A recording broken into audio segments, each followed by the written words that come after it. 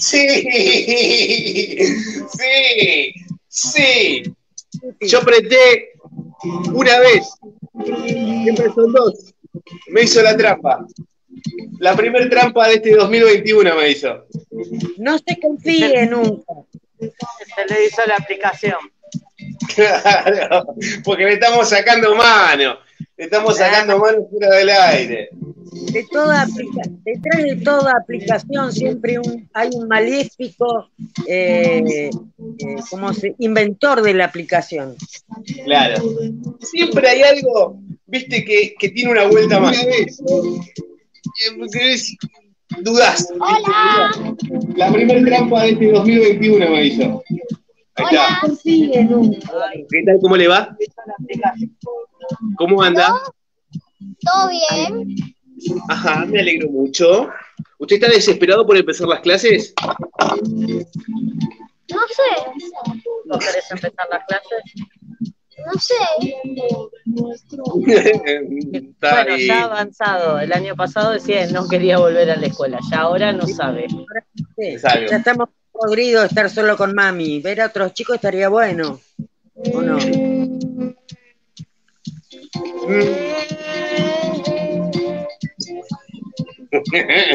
Lo está dudando. Uy, Se lo llevó, se lo llevó. Eso es, Lo he puesto con los auriculares.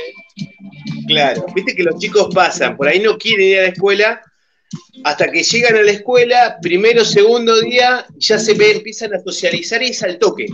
Ya, se, ya cambia, ¿entendés? Porque se encuentran ahí con los chicos, ya. eh, eso pasa siempre. Pasa que- Yo ir a la escuela. No sé si después de estar sentada ahí, pero ir a la escuela amaba ver a mis compañeros. No, amaba eso. A mí Yo me no. gustaba ir a la A mí me Yo gustaba digo- ir a la escuela, Sí. pero la generación de Facu, Facu empezó a primer grado cuando voló la 49. Uh, Entonces, estuvo él- como seis meses sin clase. Eh, estuvo ocho meses sin ir a la escuela porque clases tenían, o sea, había igual. Y, eh, y el año pasado, o sea, de tres años, fue uno solo entero al edificio, escuela.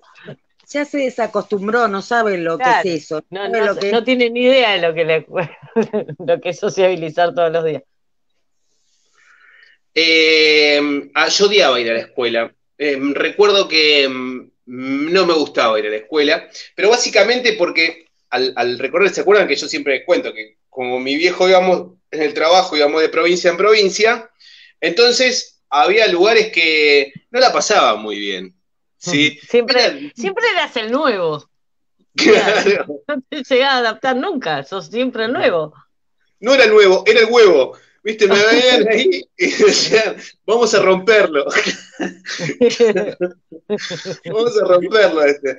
Porque no, no, eh, ahí eh, entendí desde muy pequeño la antipatía eh, en el interior hacia los porteños. Eh, hoy realmente no la siento, pero también porque yo también me siento en otro lugar en el trato. Si sé que algunas cosas, viste, el boludo no.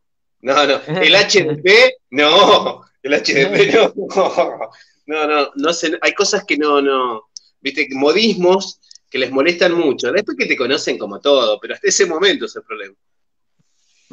Bueno, ya que estamos haciendo terapia, yo voy a que en mi escuela, amada escuela número uno, en un momento había un grado de rubios y un grado de morochos. Momento, ¿hizo en la 1? Ah, ¿Sí? Qué linda, primera escuela de Moreno. Hermosa. Hermosa con pero tenía un grado de rubios y un grado de morocho. Bien, bien. Porque el director, que era muy negro, muy negro era el negro, había, no sé por qué circunstancia, porque en definitiva él tenía más afinidad con los morochos que con los rubios. Momento. Usted está diciendo que en su época, cuando iba a la escuela, estaba dividida, lo dice metafóricamente, estaba dividida entre rubios y morochos. Te digo literalmente, ¿Cómo? Los rubios, lo- todos los rubiecitos y blanquitos iban a- al grado A, póngale primero A, y los morochitos y más oscuritos de piel eh, primero B. ¿En serio le digo? Me quedo. Es terrible. Es terrible. Terrible. En mi grado había una rubia, pero creo que después a la distancia me fui dando cuenta, creo que porque los padres eran muy hipones y habrán protestado eh, y habrán dicho, ¿por qué la separas a mi nena? Eh, pero después éramos todos morochos. Y Y además son los que predominamos, predominamos los morochos, por eso. No. se casaron con morocho y tuvieran hija morocho. Espere, espere, espere. Che, ¿y lo dejaban comprar? ¿Había kiosco? ¿O, o tenía un buffet, alguna No. cosa? No sé cómo. El kiosco en la escuela no existía porque la escuela se iba a estudiar. Entonces Che, vos y- tenías que sentarte antes de entrar a la escuela en el kiosco de la esquina. En mi caso era en el kiosco del italiano. El cine Yo italiano. también compraba en el kiosco. Yo también compraba en el kiosco de la esquina, en una de las escuelas, pues yo hice la primaria en tres escuelas. También me mudaba. Siempre dentro de Moreno, pero me mudaba, así que hice la primaria en tres escuelas. Y, eh, Pero era- y Se compraba la esquina. se compraba en la esquina. ¿Qué, qué otro tipo de discriminación? Por ejemplo, ¿los morochos podían ir al baño? Los del grado rubio fueron a Córdoba de vacaciones. De vacaciones no, de viaje de egresados. Y los de Morocho fuimos a la cancha de pato un día entero junto con el director, con... No se ría, fue así. ¡Qué Esa es la porquería! escuela, la escuela Es 1 de Moreno.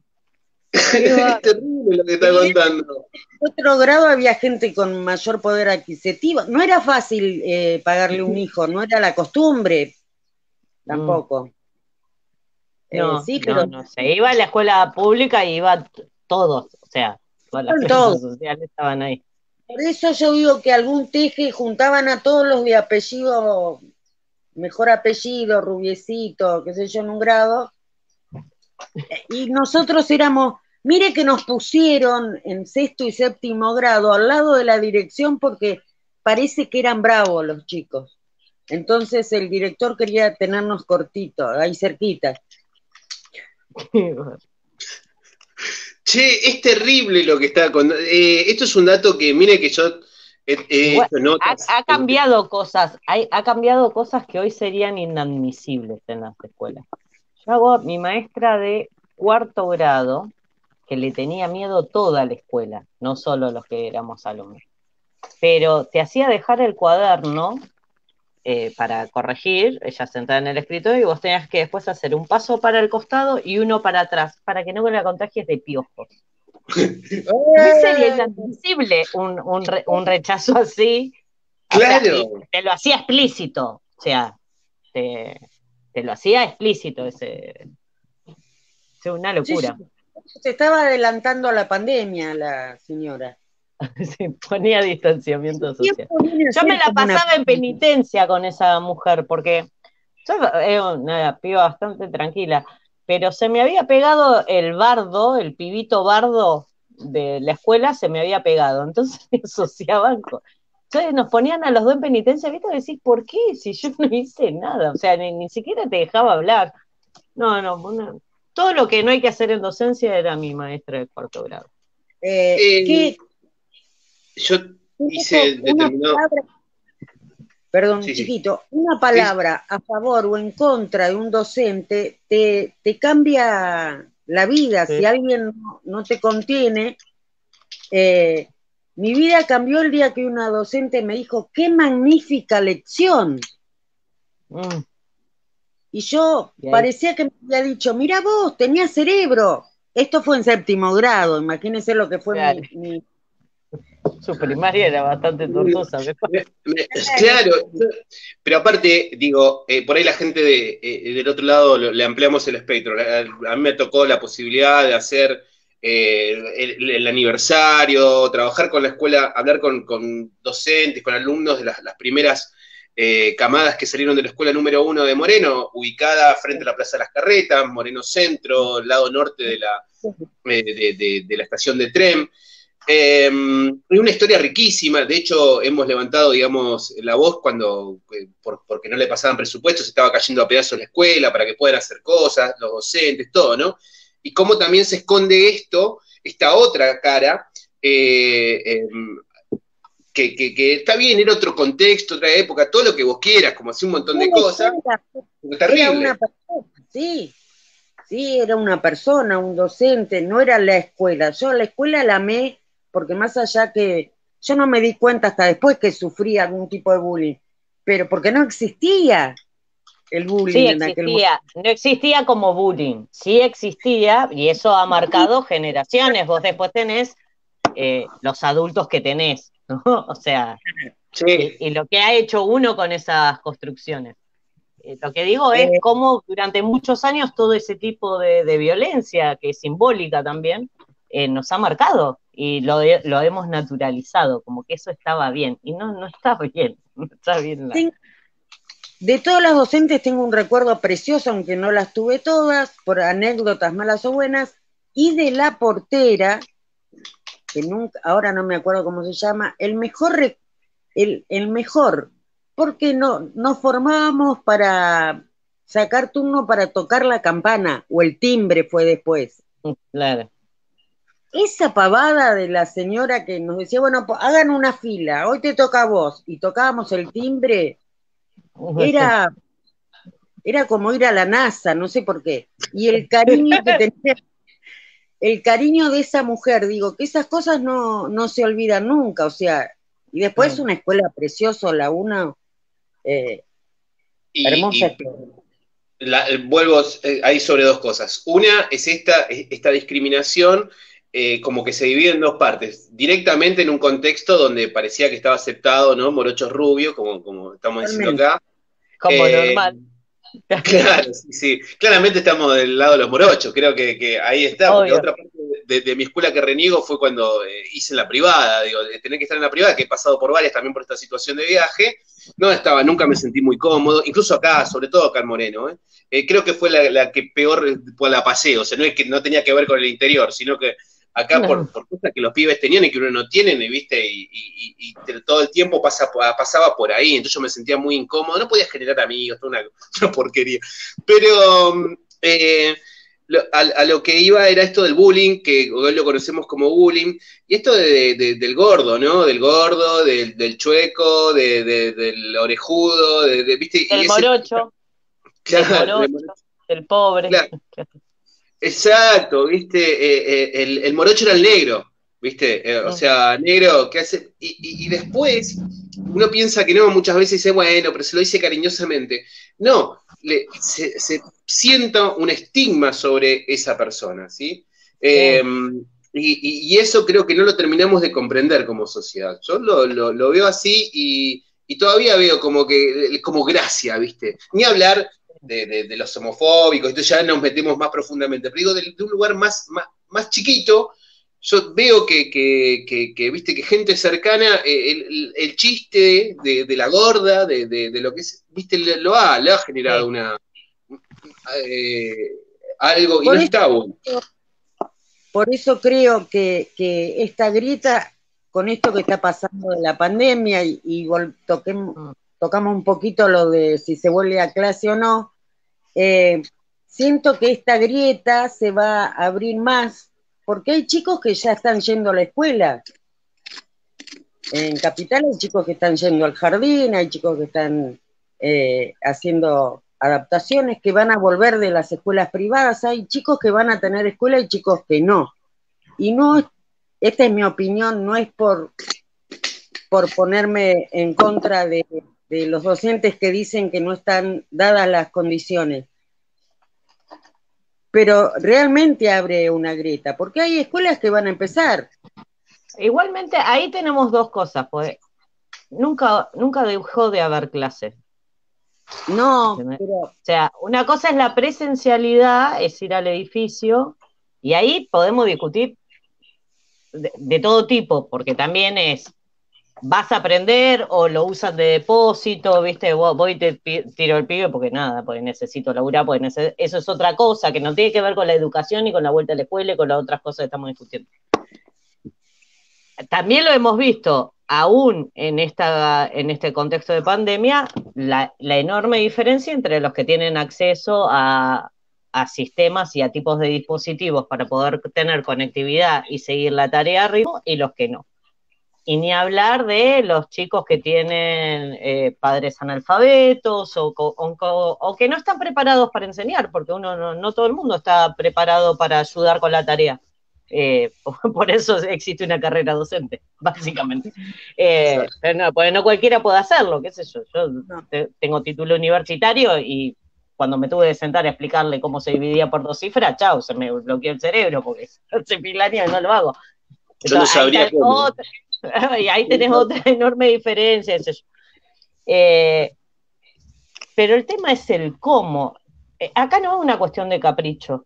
No es una cuestión de capricho, ay, sí, hay que volver o no hay que volver. Es en qué condiciones se vuelve y para qué. O sea, que no, sin perder de vista que estamos en un año electoral y que hay pujas eh, políticas detrás de eso, donde, bueno, nos vamos a dejar utilizar por eso, o sea, nos vamos a exponer, vamos a exponer a nuestros pibes, a nuestras sí. Hay Sí. que, Plata para hacer una campaña, empiecen a poner plata en las escuelas. Pues Ciudad de Claro. Buenos Aires, si, si es específicamente por Ciudad de Buenos Aires, que además Ciudad de Buenos Aires tiene que explicar por qué las escuelas públicas no tienen vacantes.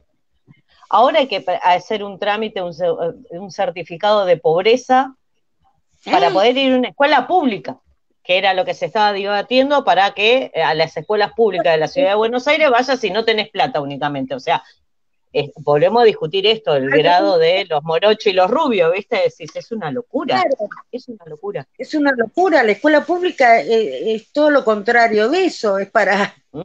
que se mezcle Bien. toda la O gente. debería. O debería. Eh, Es el, el y contexto. después, de la bueno, la escuela- escuela también, en, en distintos contextos, la escuela empezó a, o se ocupa porque es la institución que está en todos los barrios. Eh, entonces, durante la pandemia entregaron comida. Ahora se está hablando de que el, plan de vacunación, por lo menos hoy pasé por la escuela Mariano Moreno, que es la que yo tengo cerca, y estaba el plan vacunarte. No paré a ver si estaban, eh, a quienes estaban vacunando. Sí vi que estaban asesorando, además que había folletería. eh, y bueno, es, y eso también lo hacen los docentes.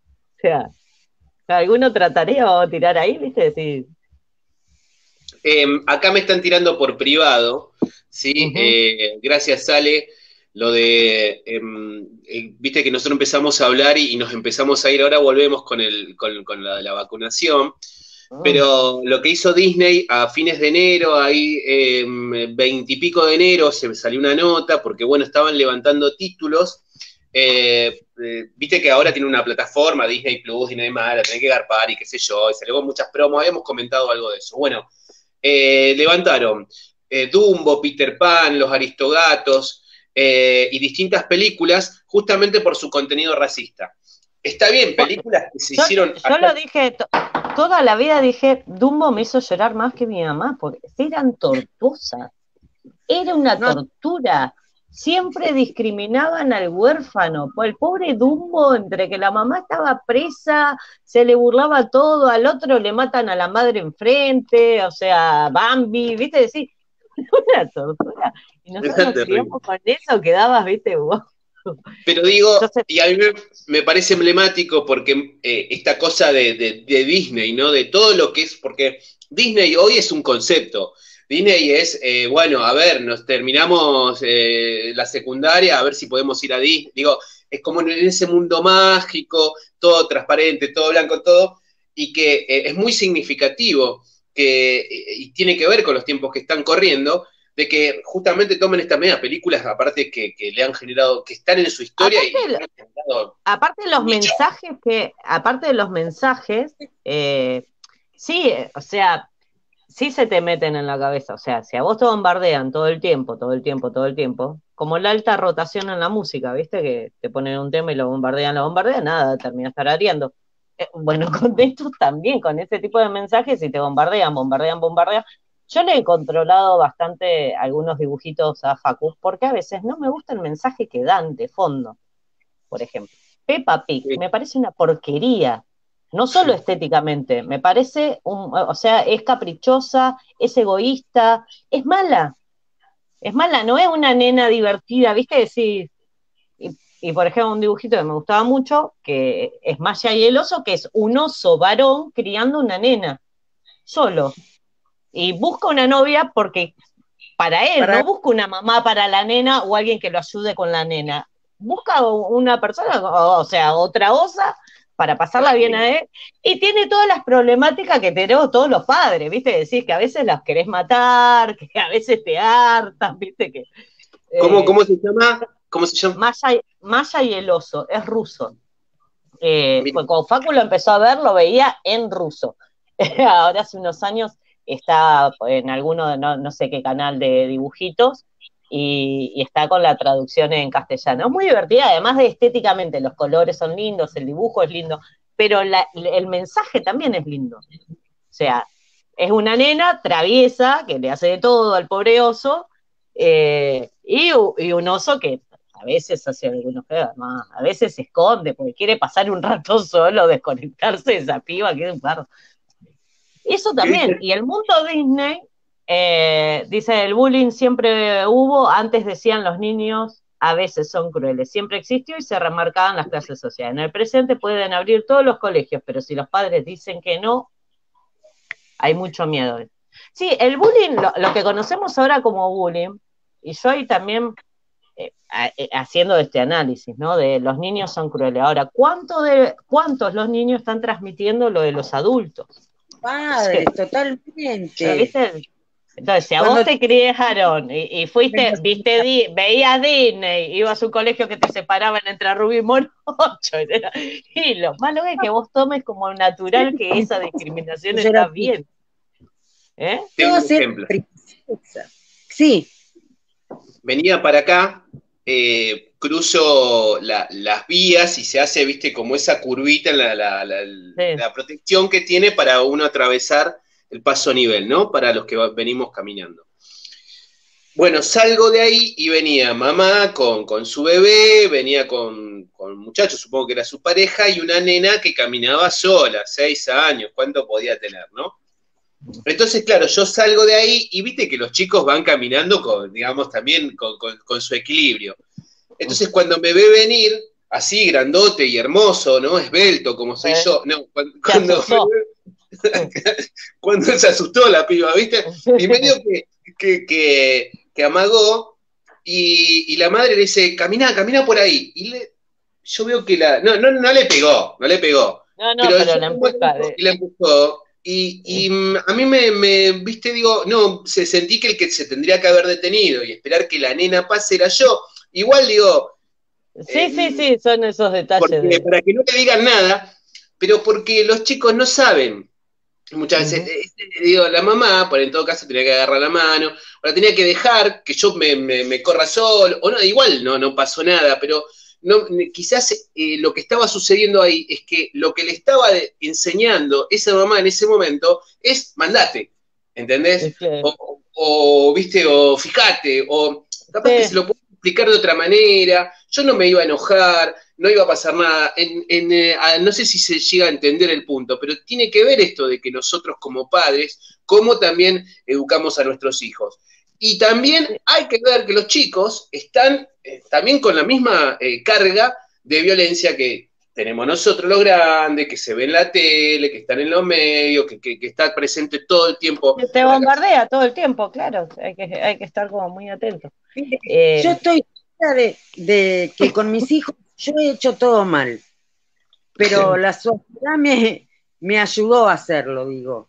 Eh, y, y no es que eh, me quiera sacar el saco, el- el- se los digo, yo hice todo mal con ellos. Le...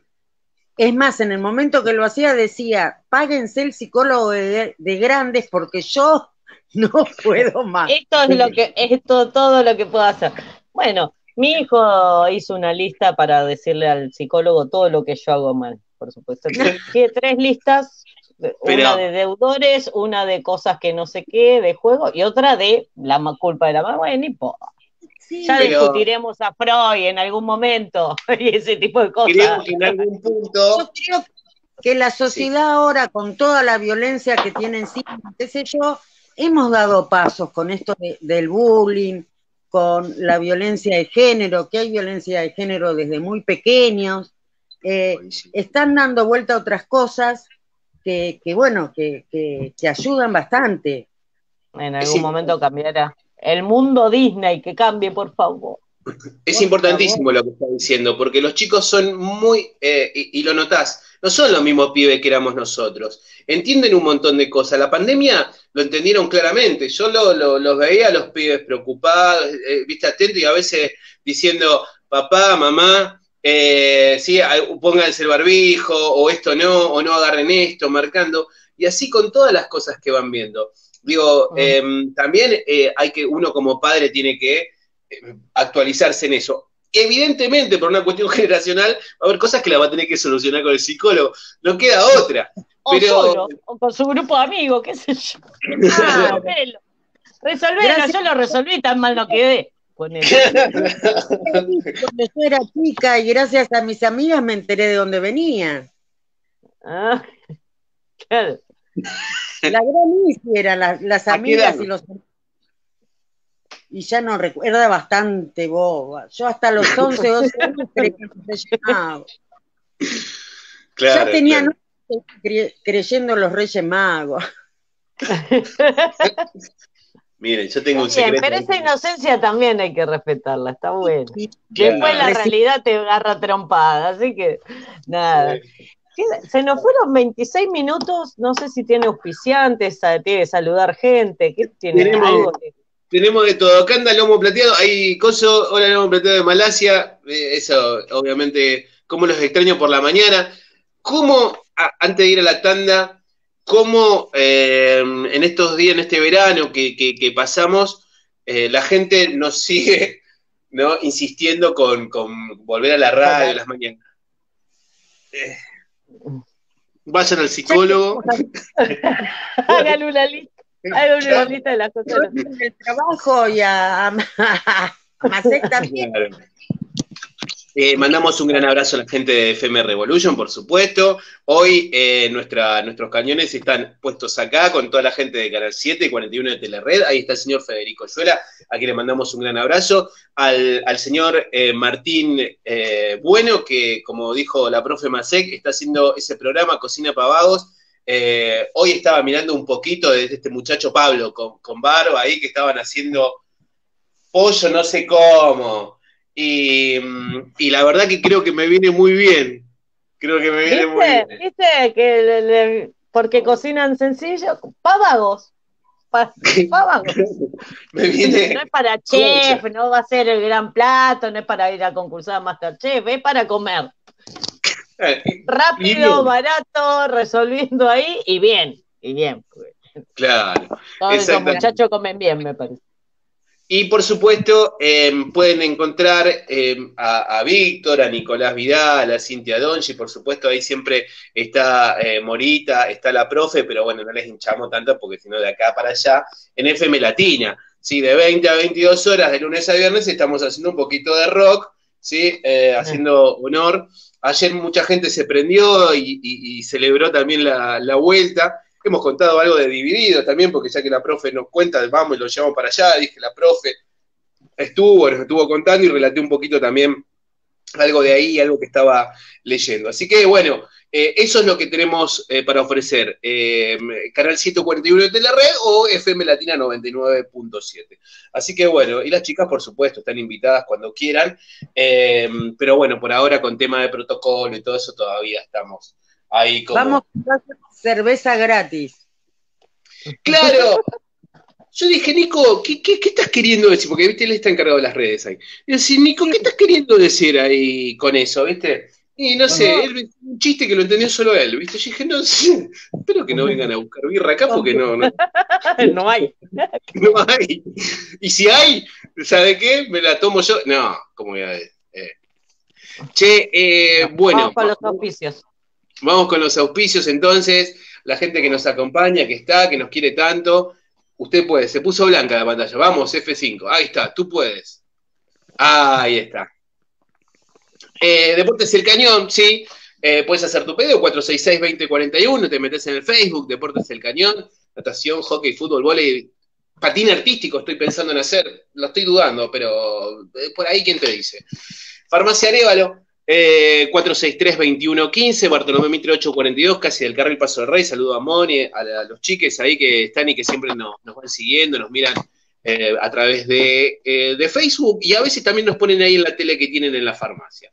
Así que bueno, aquellos que nos estén viendo, lo lamento por ustedes. Forrajería Gaby, Avenida Zapiola 1534, alimento para mascotas, aves, accesorios, gas envasados, semillas y mucho más.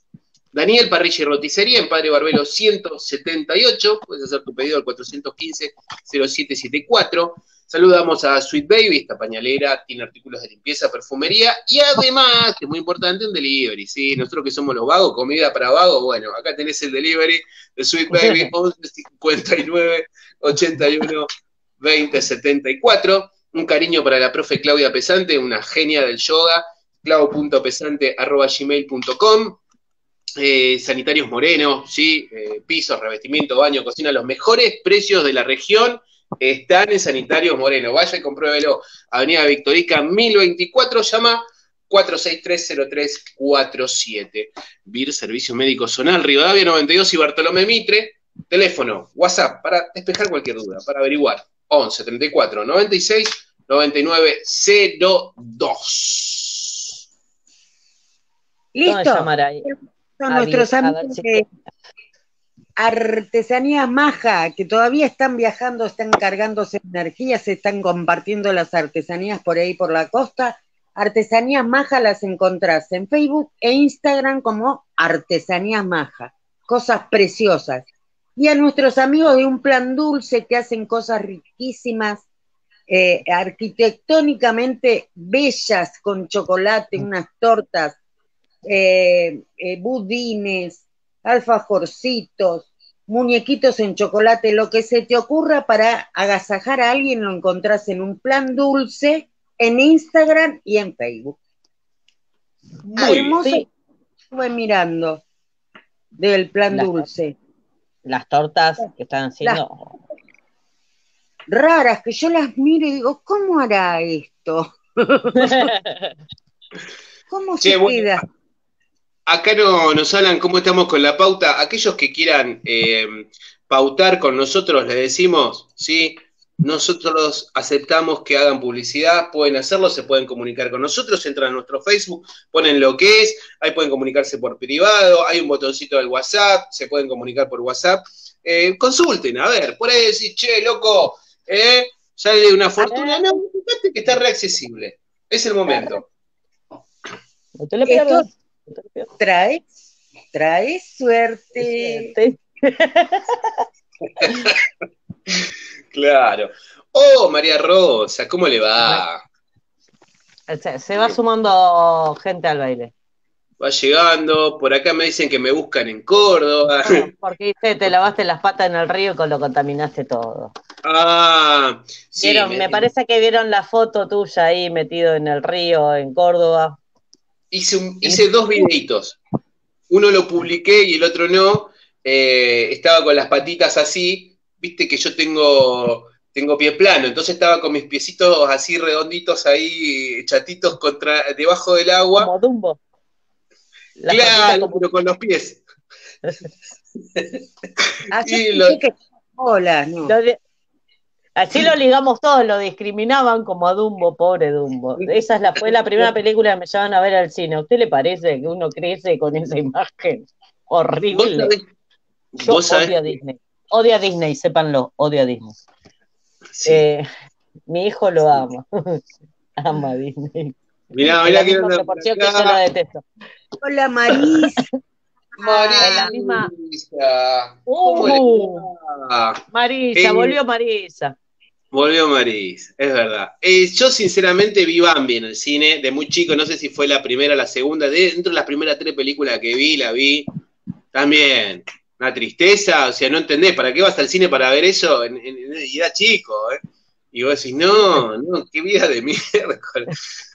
A mí no me hicieron películas tristes de chica. Me parece que era porque mi vieja no quería, que era la que me iba a llevar, no quería ir a sufrir al, al cine, ya había sufrido bastante. No vi, ninguna de esas las vi, cuando tuve la oportunidad no quise. Yo fui a ver Trapito, dice. Trapito. No, Es de la generación de mi hermano. Mi hermano fue a ver Trapito. Otra. Con otra. triste. no. No, no, sí. ¿Viste? Sí. ¿Viste que los dibujitos a veces te, te marcan, te marcan de por vida? qué necesidad. Claro, qué necesidad. A Y mí, bueno, perdónenme, perdónenme que lo saque de este mundo de fantasía, pero a mí la que me rompió la infancia fue Andrea del Boca. Andrés, Porque ella tenía mi edad, estaba ahí en la tele y era bella y todo el mundo hablaba de ella y yo no. Entonces me rompió la infancia esta chica. y después las novelas, eran llorosas las novelas. ¿Viste? Con esas escaleras y esas ropas siempre tan... ¿Dumbo se mamaba? No me acuerdo. Me acuerdo. Se- no, me acuerdo. Se mamaba Dumbo. y Si tomaba con la trompa tenía que tomar mucho. claro, con ese físico, amigo, había que mamarlo. Pero bueno, em, sí, eh, dentro de los de, de dibujos animados, algún día también le vamos a dedicar un rato, tenemos que, que ver eh, Larguirucho, todo, todo, todo eso, esos dibujos animados. Esos personajes. Veía... Personajes muy en, en los dibujitos argentinos eh, se puede ver, que no hay muchos, pero la cuestión militarizada, la presencia milica en esos dibujitos es de terror, de la autoridad de ¿Te acordás? El, el policía. El policía era correntino. Correntino. Era Correntino. Que te imaginás correntino, que en mi casa me viste correntino. Era corto, vamos a decir la verdad. Era hasta ahí Era- nomás.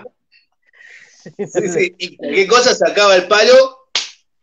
Tácate, te daba en la cabeza.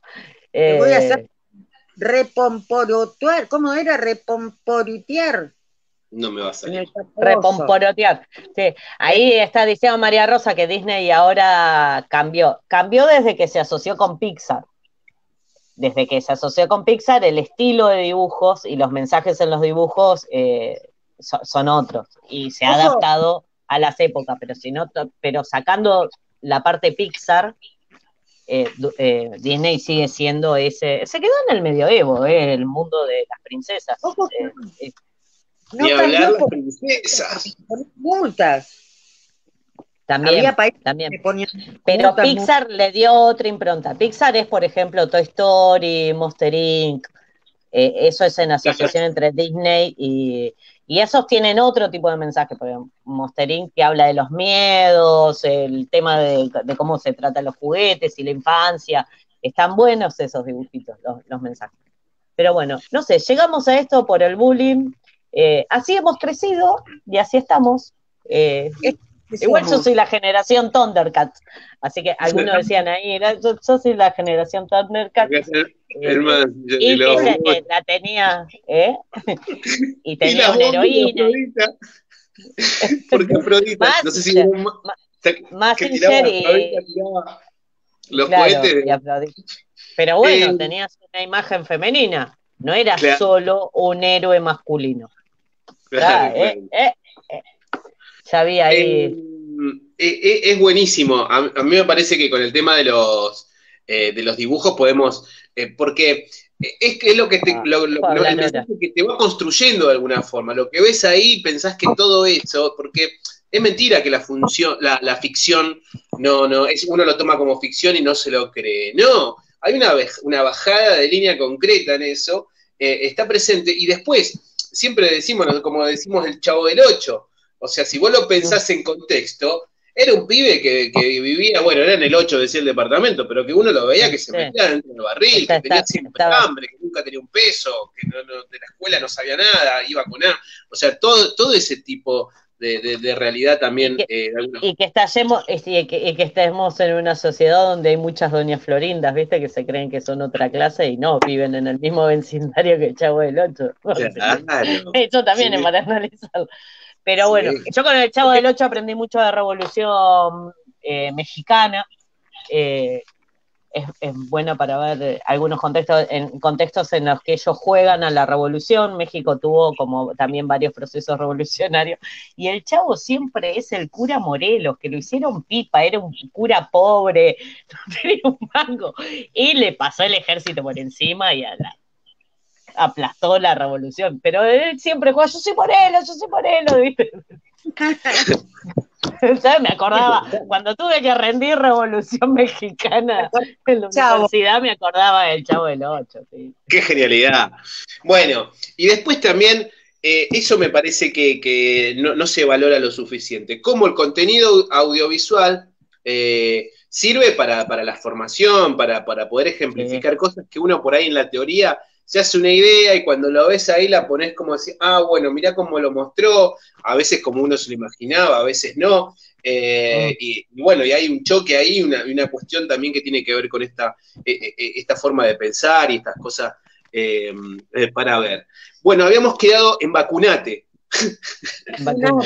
En realidad habíamos empezado por las escuelas porque eh, hay todo un plan de vacuna, hay varias vacunas eh, dando vueltas que están en prueba, hay muchas vacunas que están en prueba, pero la que se está aplicando acá en Argentina es la Sputnik. ¿Cómo se llama? ¿Cómo se Sputnik?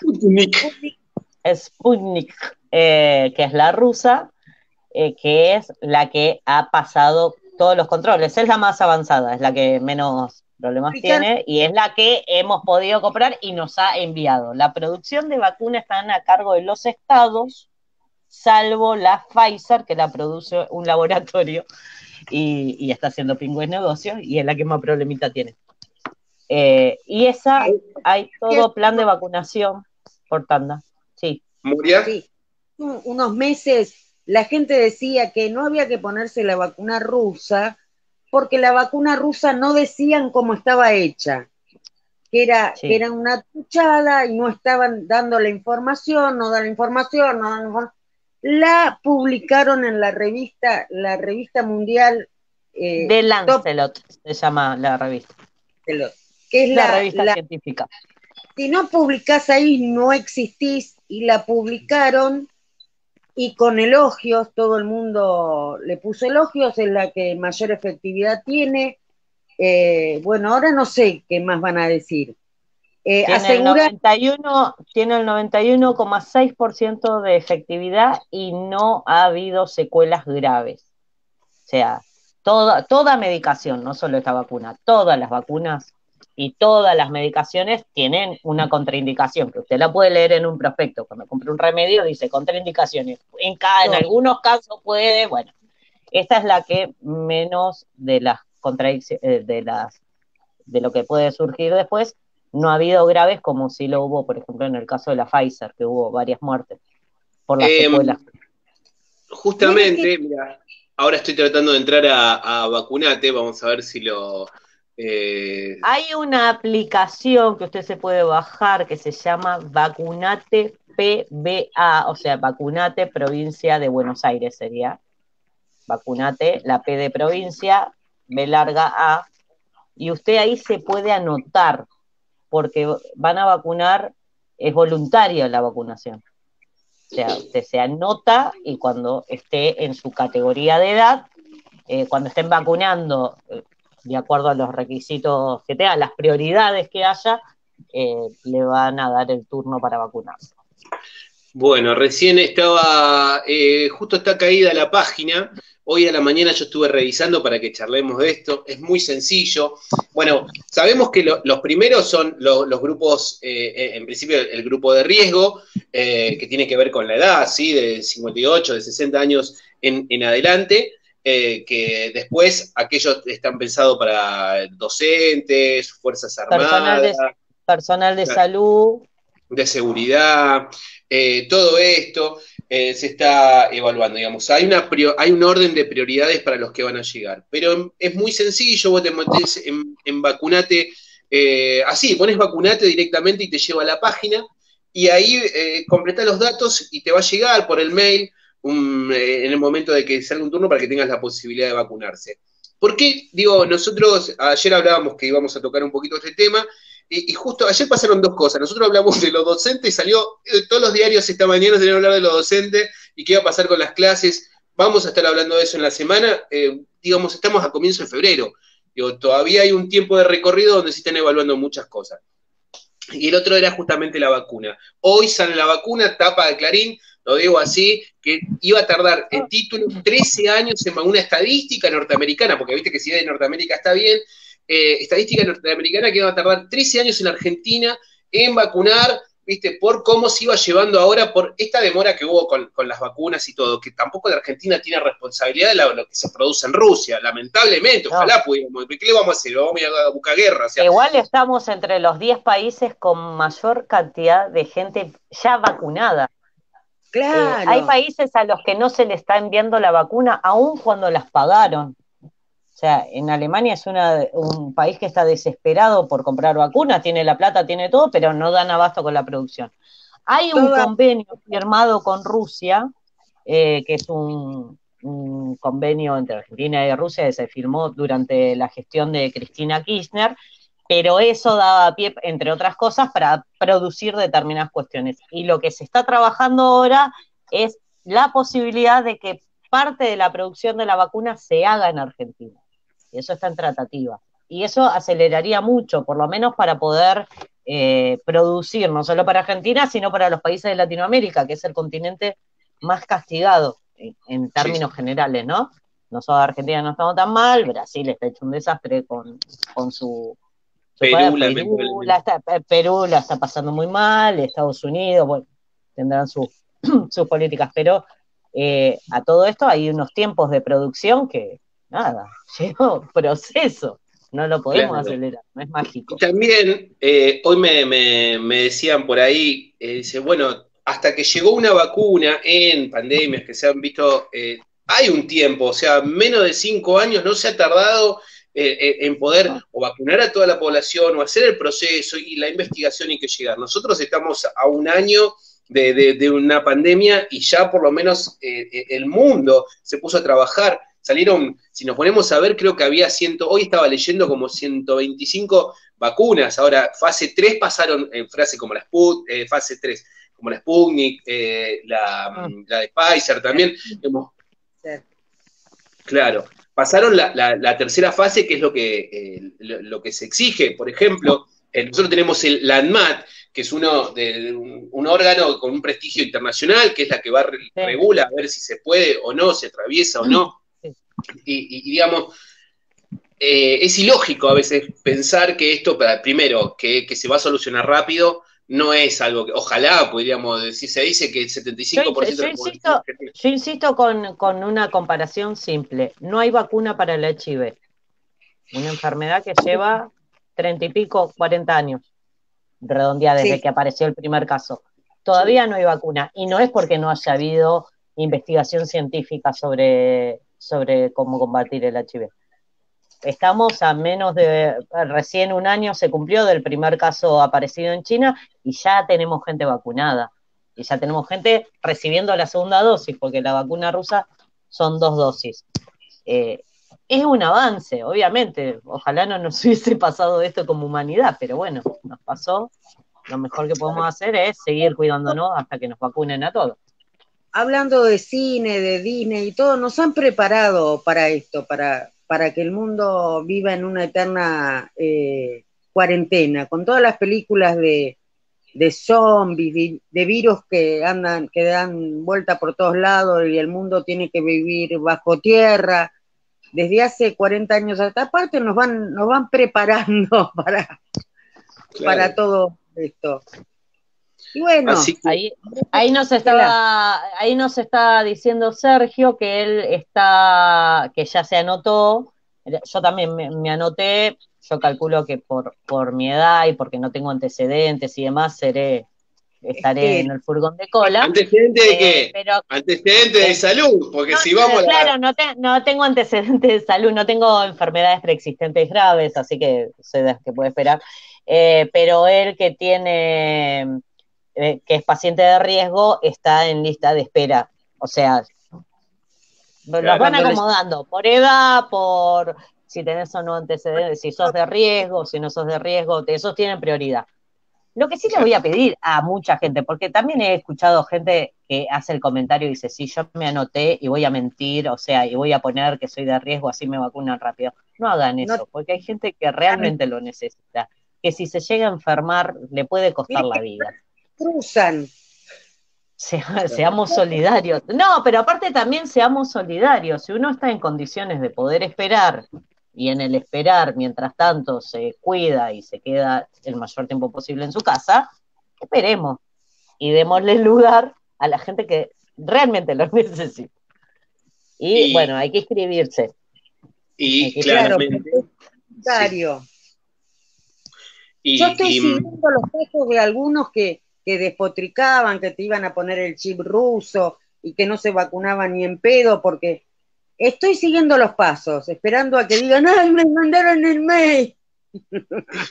Bueno, y ya estamos en tiempo, eh, creo que también hasta que llegue la vacuna, no está de más decir que la, única herramienta, la única vacuna, entre comillas, que existe es la prevención, es seguir cuidándonos. ¿sí? A nosotros y al entorno. Sí, porque también está, no somos, no, no, nadie nació en un repollo, así que eh, tenemos que ser de vuelta solidarios. Chicas, nos vemos mañana. Nos vemos, mañana, hablaremos de música. Mañana Maldomera, viene ahí la profe. Maldomera mañana va a estar charlando con nosotros acerca de el acústico que dio en el Teatro Leopoldo Marechal. Ahí andaba Gastón dando vueltas que nos estaba saludando. No se lo pierdan, ¿eh? No se pierdan porque tienen que ver lo que fue eso. Mañana terminamos todos llorando, le aviso. Le aviso. me enamoré, me enamoré. Nos vemos mañana. Chao. Chao, bonito, chao.